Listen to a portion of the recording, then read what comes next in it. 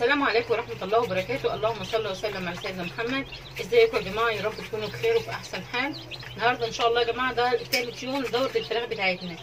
آه، تالت يوم المفروض هنعمل إيه؟ أو تاني يوم بالظبط. فإحنا إن شاء الله هنقول لكم الكلام ده كله بس قبل ما نخش الفيديو يا ريت كلكم تعملوا like يا جماعة للفيديو علشان آه الفيديو ديت يرتفع آه باللايكات بتاعكم. عايزة الفيديو ده يا جماعة يوصل آه لأكبر عدد من اللايكات تمام؟ ويا ريت برضه تشاركوا ده بينكم وبين بعضكم. يلا يا جماعة كده نخش الفيديو ونسمي الله ونشوف هنقول إيه النهارده بقى في الفيديو. أول حاجة هنعرفكم على المكان اللي إحنا حاطينه فيه الفراخ. آه أنا قلت لكم آه أول يوم بحطه في حاجة زي طشت كده واسع أو كرتونة واسعة بمعنى أصح يعني عشان الناس اللي ما عندهاش طشت تحطها في كرتونة واسعة. بنقعد الفراخ يا جماعة يوم أو يومين في الكرتونة. لو أنت حطاهم في كرتونه بلاش تحبس. اديلهم لندة وعلى طول حط لهم الأكل والمية وسيبوهم ليل ونهار في قلب الكرتونه بس المهم إن يكون تحتهم ناشف ما يكونش تحتهم المكان مبلول. لو أنت عندك حاجة واسعة بقى ومش مجهزة لسه الكرتونة ولا حاجة ممكن تاكلي تخرجي الفرخ وتأكليه بالطاقة كده. يعني تخرجيه 10 دقايق ياكل ويشرب وبعد كده تحبسيه كم مرة كده في اليوم.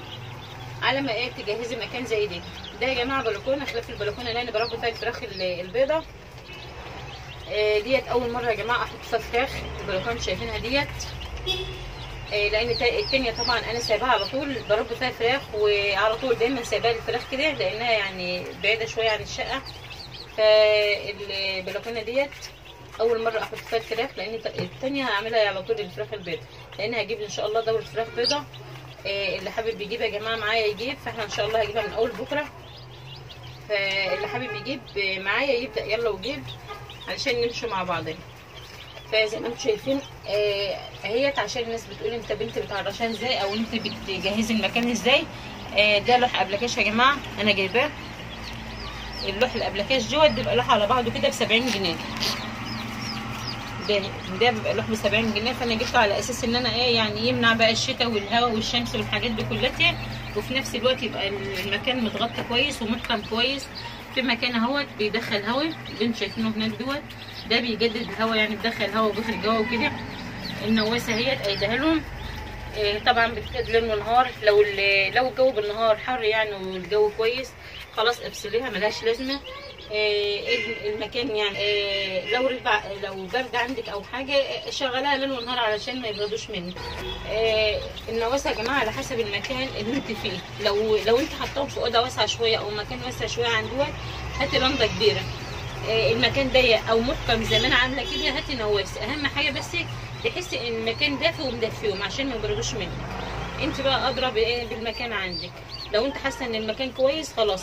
إيه وصغير زي ما أنا حاطة كده في البلكونة نص البلكونة عندي. يعني يعتبر واخدة منها متر بس على قد الفراخ مش موسعة ولا حاجة علشان ما يبردوش. يعني كل ما يكبروا بقى أوسع لهم شوية بشوية. إيه لو انت مش عارفة مثلا المكان دافي أو برد ولا كده انت بتعرفي من الفرخ الفرخ بياكل وبيجري ومفرفش. تعرفي المكان إن الفرخ دافيان وكويس. حسيت إن الفرخ كمشان على بعض وكده واقفين متكومين على بعض يبقى كده الفرخ, يعني إيه بتحس إن هو بردان ومحتاج إضاءة أو درجة حرارة عالية شوية. تمام؟ فالمكان اللي إحنا قافلينه ده اللي إحنا فاتحينه ده يا جماعة ده بنفتحه بالنهار بس لأن الفراخ طبعا لسه كتاكيت صغيرة. إيه لو هي كبيرة شوية هنقول لكم آه افتحوها مثلا ليل ونهار. فإحنا إن شاء الله المكان ده هسيبه خالص هقفله علشان ما يجيبلهمش برد ده لو أنا هبيتهم لو لقيت الجو صاد وحلو هنا هبيتهم زي ما أنتم شايفين في المكان دوت. آه هسيبهم ليل ونهار بقى يباتوا هنا.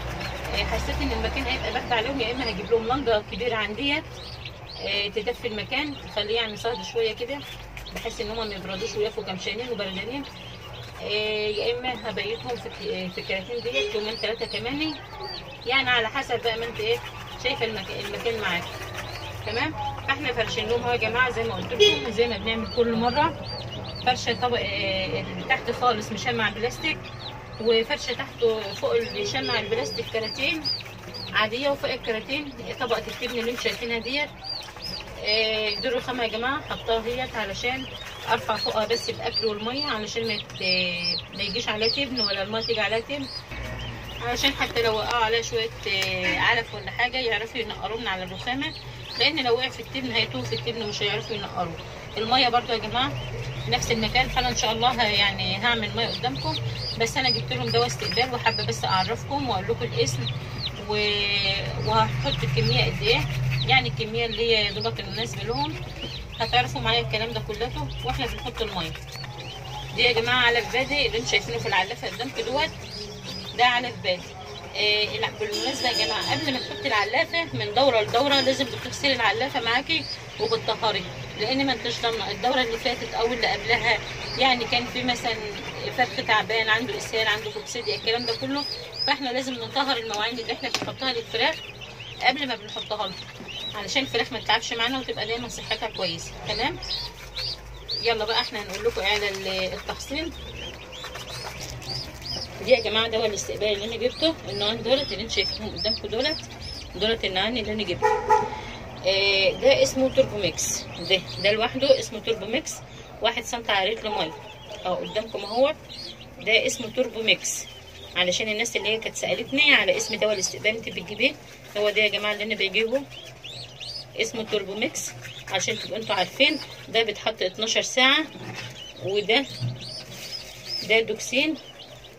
دوكسين وكوليستين الاتنين على بعض. نص معلقة برضو على لتر ميه ده 12 ساعة برضو. يبقى كل نوع من دولت الدواء الأسمر اللي أنتوا شايفينه ده 12 ساعة اسمه توربو ميكس وده دوكسين وكوليستين على بعض برضو 12 ساعة. تمام؟ نص معلقة على لتر ميه قدامكم اهوت علشان الناس بس اللي إيه اللي حابة تجيبه. بس يا جماعة يعني أنتوا مثلا لو أنتوا رحتوا مش ضروري ان انت تجيبي دولت ممكن الدكتور يديك أي دواء تاني بس عشان أنا ماشية بالدواء ده على طول وبقى كويس يعني معايا فأنا حبيت أقول لكم عليه. آه أنا عندي أنتوا شايفينها ديت دي دي بتاخد نص لتر. فالمفروض آه يبقوا ربع معلقة بس يا جماعة علشان ده نص متر. اهو ده ربع معلقة أهيت.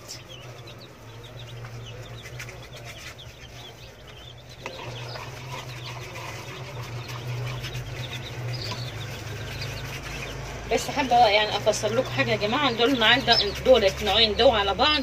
انت بتقلبيهم قبل ما بتدي الفرخ بتقلبيهم على بعض كده بالطريقة اللي شايفينها ديت دي بتقلبيهم لأن هما جايين نوعين زي ما قلت لكم. تمام؟ فإحنا حطينا لل أهو الفراخ أهو. أنا كنت الصبح حطيت لهم دواء من اللي هو التوربو ميكس 12 ساعة. فإحنا علشان بقى آخر النهار هنحط لهم اللي هو البودرة دي تمام؟ نحط لهم بقى يشربوا.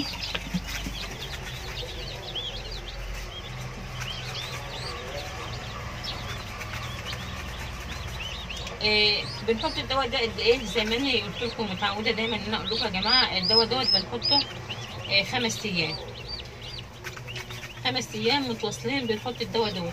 أنت بقى على حسب ما الدكتور يقول لك إيه في ناس بت... يعني في دكاترة بتقول حط ثلاث أيام في دكاترة بتقول خمس أيام. يعني على حسب ما الدكتور. يعني يقول لك. امشي على الدواء اللي هو يقول لك عليه.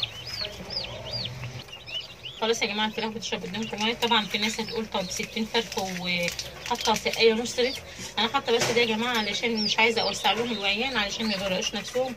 فإن شاء الله ابتداء من بكرة بقى بإذن الله هنحط وعيتين وعيه تبقى رتل ونص رتل دوت. يعني علشان إيه ما نوسعش الموضوع قوي ومن وقت للتاني برضو كل شوية بنخش لو خلصوا مية بنحط لهم. يعني عادي ما فيش أي مشكلة. آه بالمناسبة بس يا جماعة حابة بس أقول لكم حاجة. أنا كنت قلت لكم امبارح إن ال- الفرخ اللي هو البلد المشعر ده جايبه بتلاتة وربع. آه، لأن في ناس كتبت في التعليقات آه، مفيش فرخ بتلاتة وربع. الفرخ في ناس قالت عندنا بخمسة وفي ناس قالت عندنا بأربعة. فلا الكلام ده يا جماعة يعني يمكن هي كل منطقة بقى ولها سعر. بس أنا جايباه امبارح بتلاتة وربع. أول امبارح مش البارح لأن النهارده تالت يوم. أول امبارح يا جماعة كان بتلاتة وربع والفيوم جايباه بتلاتة ونص. تمام؟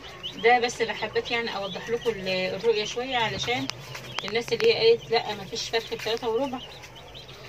إيه، النوع الفيوم اللي هو اللي كل الغوامق ده يا جماعة ده فيوم الغوامق. إنما اللي هي اللي الأبيض دوت ده اللي هو البلد المشعر اللي أنا قلت لكم عليه ده ده اللي هو إيه بتلاتة وربع. تمام؟